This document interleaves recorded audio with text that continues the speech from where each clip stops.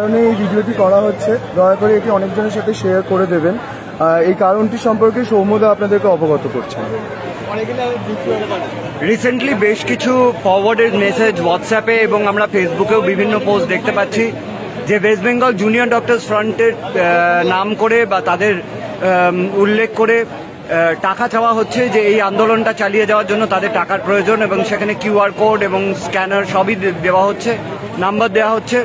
আপনাদের এটা বলে রাখি যে ওয়েস্ট বেঙ্গল জুনিয়র ডক্টরস ফ্রন্টের যে আন্দোলন চলছে, সেই আন্দোলন তারা নিজেরাই সেটা নিজেদের কাঁধের ওপর ভর করে বহন করে নিয়ে যাচ্ছে। তাদের যেসব টাকা লাগবে, তারা নিজেরাই জোগাড় করছে এবং এরম কোনো আবেদন West Bengal junior doctors front থেকে করা হয়নি।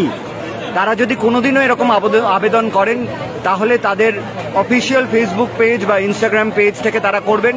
তাই জন্য দয়া করে ওয়েস্ট বেঙ্গল জুনিয়র ডক্টর ফ্রন্টের অফিসিয়াল পেজটাকে ফলো করুন এবং এই ধরনের ফরওয়ার্ডেড মেসেজকে আইদার রিপোর্ট করুন, কিন্তু এই ধরনের গুজবে এবং এই ধরনের ফাঁদে প্লিজ পা দেবেন না।